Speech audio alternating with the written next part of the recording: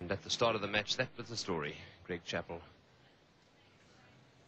18 centuries, now moves on to 19, just below Harvey and Sir Donald Bradman. He's bowled him. What a beautiful delivery that from Imran Khan. The ball just holding up, and it seemed that Kim Hughes thought that he had it covered. Well, it beat the outside edge of the bat and hit off stump. So the end of Kim Hughes out bowled by Imran Khan for 28. Just the shot in the arm that Pakistan needed. Hughes there, beaten by the movement off the wicket. And I still feel that his head was not behind the line of the ball completely. So that's the end of Hughes. A very good delivery from Imran Khan. And the fourth wicket now has fallen with the Australian total at 298.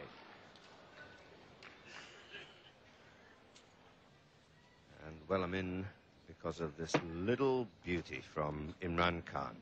What a gem of a ball. Deceived Hughes completely. He thought the ball was coming in. The ball, in fact, held its own, and Hughes finished up playing just inside the line of the ball.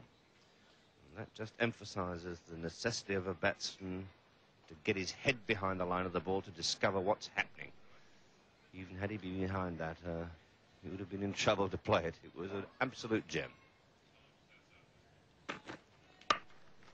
Wellham looking for the one and getting it. Imran going across there very quickly. So Dirk Wellham off the mark.